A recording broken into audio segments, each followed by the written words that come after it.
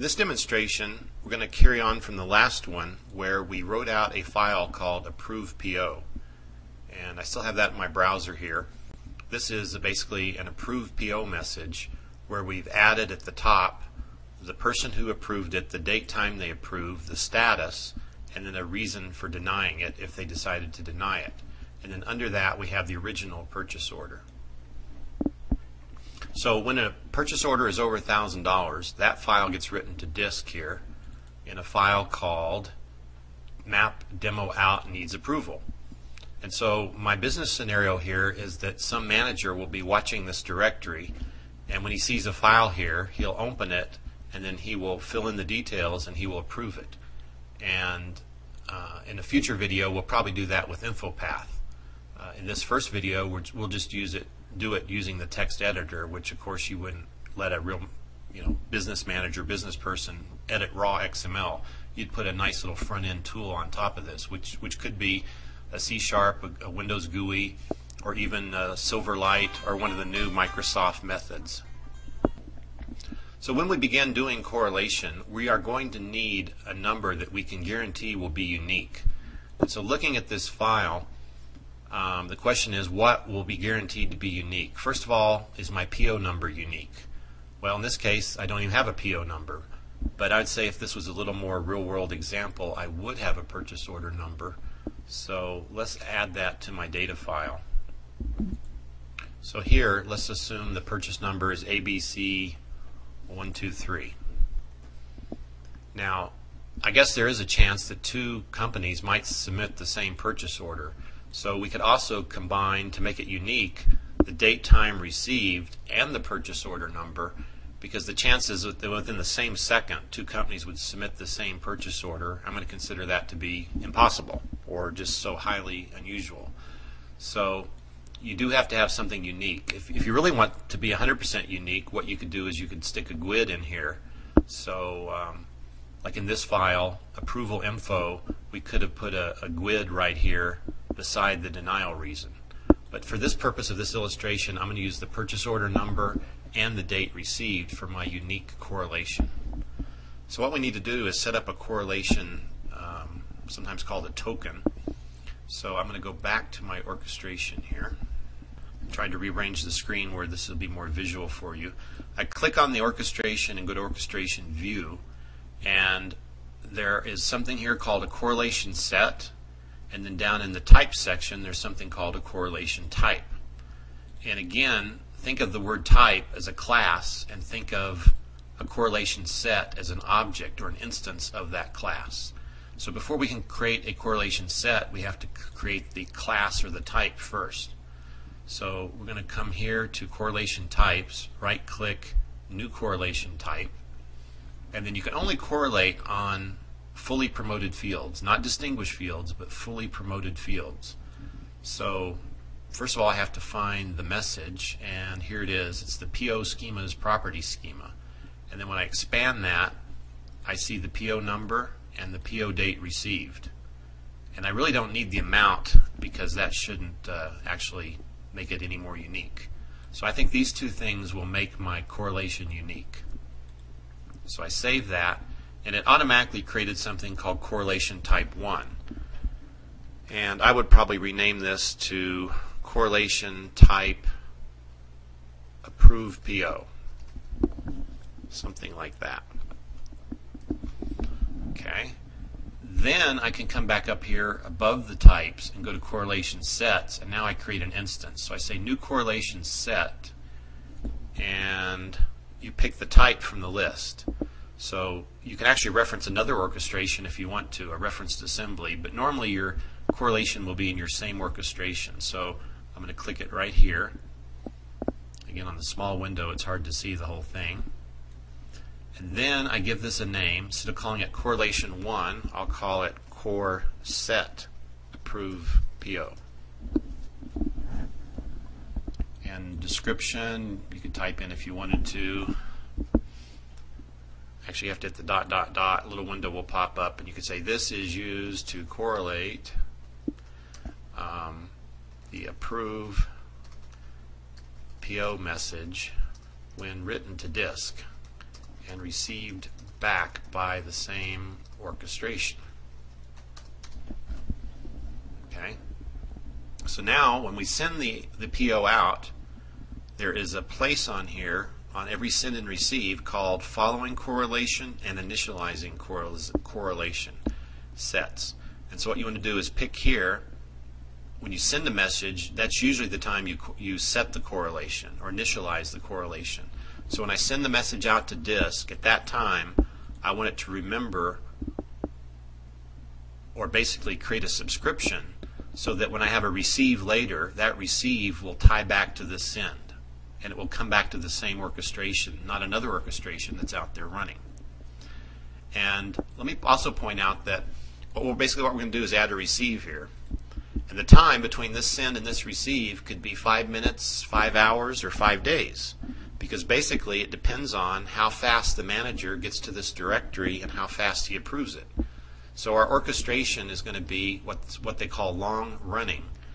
And the orchestration will usually dehydrate a minute or two after we send the message.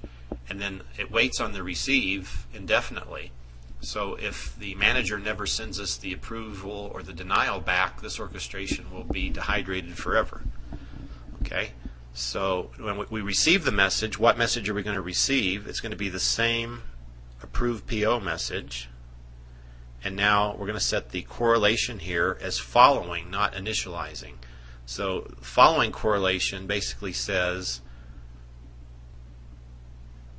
that this guy has to have the exact same correlation settings or values for PO number and PO date received as the as the time and as the settings were when I sent this message right here.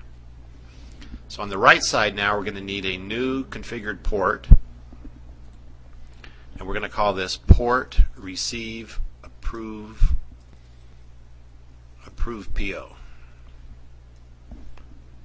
Actually I'm going to go back and copy that. I'm going to paste it here and put port type underscore. It's a one-way port. I will always be receiving and I will specify later. And then I want to hook these two together. So um, I'll put a group box here just to remind myself of what I just told you that um, there may, let's see, potential time lag here. So there's a time lag between the time we send it and the time we receive it. Another trick you can do here is you can actually put group boxes inside of group boxes.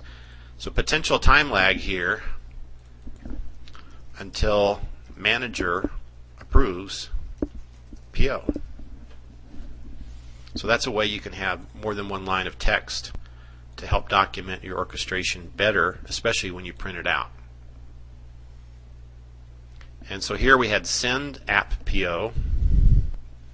So here I want to put uh, the name receive app PO. Now to make this uh, orchestration a little more logical and more real world, what I'm going to do is add a, some logic down here, just maybe a dummy group box that says, uh, you know, add PO to our system. And that, who knows what our system might be. That might be SAP or Siebel or CRM system, whatever, some kind of enterprise level system. And so here, you might call a web service, you might call it C sharp, you might use an adapter, whatever. And so we're just going to kind of dummy it out for now and pretend. So what we'll do is let's just add a trace shape here. Let's copy one of our traces down. And we'll just call it like a pretend shape here. So, so shape uh, 3000 and then here we'll say uh, 3000 pretend to call our system whatever our system might be okay now let's look at our logic up here again if if he says decide if needs approval or not so if it's under a thousand dollars it's automatically approved but what if uh, we write it to the file and then he denies it? So what we need to do is find out here if it's uh, approved or not. So we're going to insert another decide shape and then we're only going to add to our PO system if it's approved. So we need to create a rule here based on the approval status. So if it's under $1,000, we want to set it to approved automatically. So we're going to insert an expression shape here, and I want to set a variable called v approved equals true. And you do put semicolons here at the end of all your statements, by the way. And now I need to create this variable in my variables. So I go over here to the orchestration viewer, find my variables, right click, add new variable, paste the identifier here, and I'll make this a Boolean. Okay? And for whatever reason, we'll initialize it to false instead of true. So in this case, we set it to true and we're okay. Now here, when the guy, uh, the manager approves it or not, um, what we could do here, I'm trying to think how to minimize the number of decide shapes. Uh, I could actually have the add to RPO system, call it here, and then call it here if it's true. But what I'm trying to think of is to have one common branch down at the bottom. So here when we call his the approval system we need to interrogate actually the value of the approval so if we go back to our schema we never actually promoted that field so let's go back to our approved PO schema and um, also notice let's, let's actually do a quick compare here if we look at the original schema, which was called standard purchase order, we had a couple of, actually five fields that were either promoted or distinguished. And when you basically include a schema in another schema, the promotions are not automatically copied over. So for instance here, I might need to promote this field again. So I do quick promote again, and let's just double check one thing. Let's go back here. Again, we only have one property schema right now. And so there's the PO total amount, PO number. So let's take the PO number, promote that. Now, we need to know what was the approval status. So if you remember over here, we actually gave a restriction and we put the word approved, denied, or escalated. Okay. So here, if approval status is approved, we need to test that in our program. So we need to make this either a promoted or distinguished field. And so there's a rule of thumb that says basically if you just need a field only in your orchestration, let's make it a distinguished field, not a promoted field. So I, am actually going to promote or distinguish all three of these fields, not as property fields, but as distinguished fields. Okay, and then I basically need to build this and then refresh my orchestration to make sure that I get these changes. So my build is happening right now on the schema project. It succeeded. I go back to my orchestration project right here and I'm going to drop and re-add the reference. Okay, it's dropped and now I click add reference and once again I just reselect it here Okay, now I go back to the orchestration, the ODX file, and what I need to do really is put another decide shape right here, and we will we're going to interrogate the value that came back. So the message that we got back here is called message approved PO. So we're going to say message approved PO dot approval info. So remember when we're working with fully promoted fields, they show up here in parentheses. But if you're dealing with distinguished fields, it's more like the uh, normal C-sharp syntax with the dots. And so if the approval status equals two equal signs, approved, so you put two equals here just like you would in an if statement in a C-sharp program. And then I, I need to double check to make sure approved is the right keyword. So if I go back to this schema, go to this gray area, approved would be the value that says, yes, I want to process this PO. Okay, so back to the orchestration. What I need to do here is, actually we need to give a name to this. Call it set approved. We're going to copy that down to this decide shape right here. So here we should put a little description on our rule, um, something like if manager approved. Then we set the approved flag to m approved, v approved equals true. Then down here we can just say if v approved. We don't have to put equal equal true because it's already a boolean field. So if it's true, if approved, then we're going to add the PO to our system. And you know, of course, in the real world, you'd probably add the denied POs to your system too and keep track of them. But I'm trying to make you know something that would be slightly real world and slightly interesting, but also kind of try to illustrate how you how you could set up your business processes here to to control the flow of your data slightly different for different scenarios. Likewise here, where you have the word decide to, you might want to say check manager decision if manager approved, do this, else do nothing. The other thing I'd probably do right here is I'd actually like to do a trace.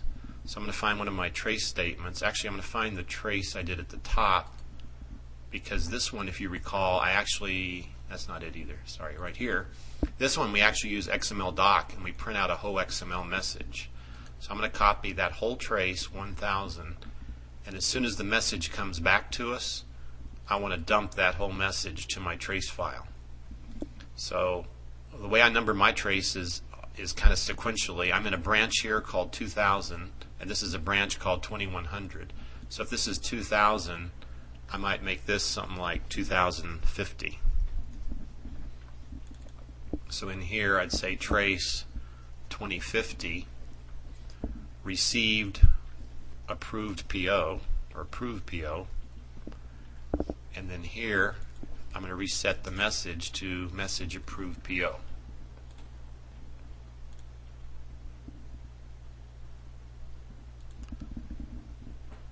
Okay. There's one other change I would suggest here to make this just a wee bit cleaner. I think it would actually work the way we have it, but here I have message approve. I actually want to copy that and paste it.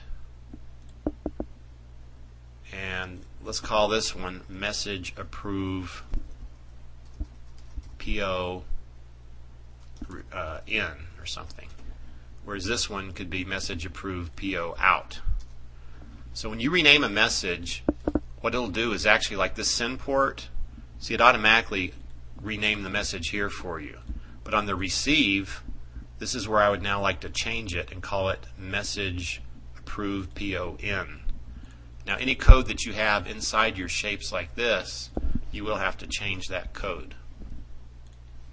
So here I need to say PON.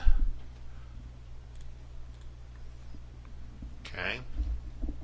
Now one other nice feature of BizTalk 2006 that we didn't have in 2004 is this zoom feature.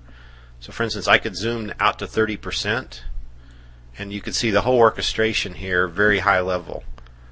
Um, so you can see I receive, you can't really see the shapes, but if I just talk you through it, we receive a file, we have a scope here, we were just testing the scopes, we decide if it's over a thousand or under a thousand, and if it's over a thousand, we send the message off to the disk, and we wait for the manager to put the message back into the system in a different folder. And then we test to see if it's approved, and if it's approved, we call our in-house purchase order system, whatever that might be. So of course I can zoom different levels. I typically leave zoom on 75% and this is what the 100% looks like.